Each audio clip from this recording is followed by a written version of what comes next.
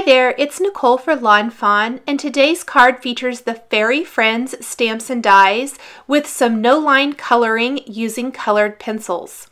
I love the look of the no-line coloring and thought it would be fun to show this technique with colored pencils as opposed to markers. I'm going to start by stamping my images with a very light ink. I'm using the Antique Linen Distress ink.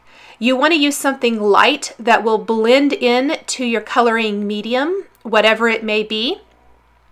And then I'm going to start coloring in these images with Prismacolor colored pencils and blending out the coloring lines with some Gamsol and a stump pencil. I'm going to start with the purple fairy, move on to the flowers, and finish with the blue fairy. I have sped this up quite a bit to um, so you don't have to sit here for as long as it actually took me to color all of these images.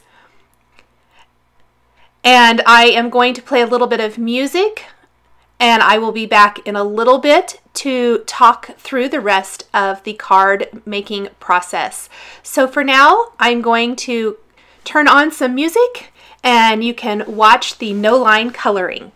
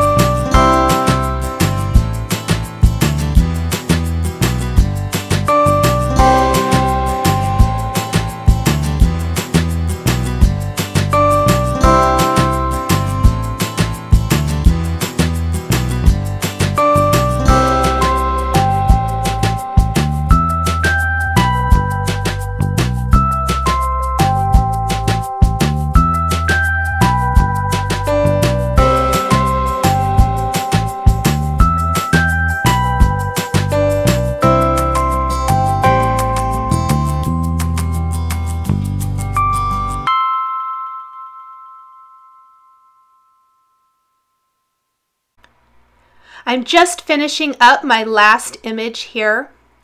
And then I'm going to take the coordinating Fairy Friends dies, cut them apart with some metal snips scissors and tape them over my images and then die cut them using the Big Shot die cutting machine. I used a little Wink of Stella clear glitter brush marker on the fairy wings to give them a little bit of glitz and glimmer. And then I'm going to go ahead and die cut the largest stitched rectangle frames, also new from the 2016 CHA release. And I'm going to die cut that from some watercolor cardstock. I'm doing this a couple times. I'm going to need that inside piece as well as the frame itself.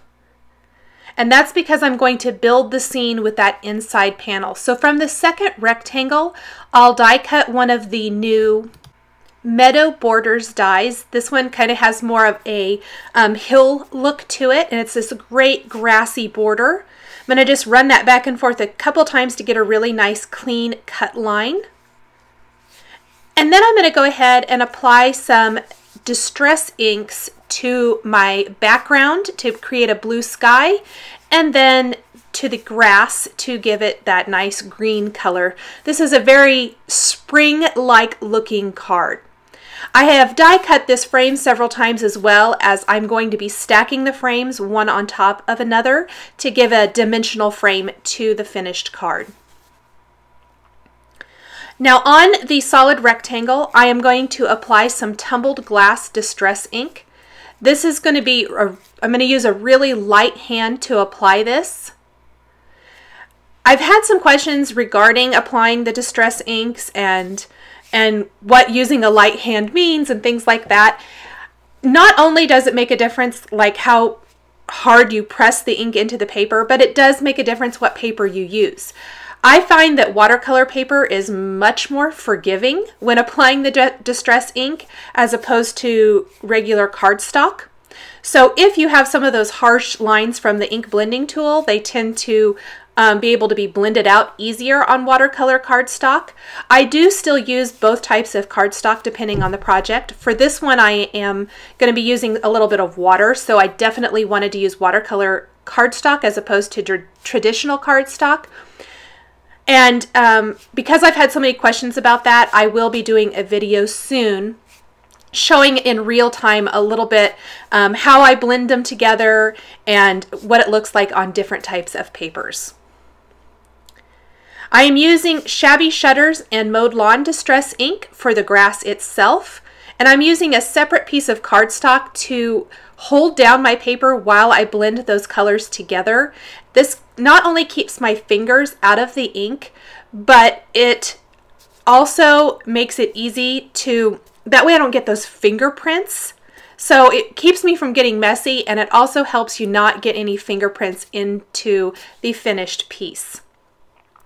Now on both of these, I am going to take the Distress Sprayer filled with water and spritz these with water. Not a lot, just a little bit. I don't want a ton of distressing. Leave that sit for about 30 seconds and then I'm going to just dab that dry with a paper towel.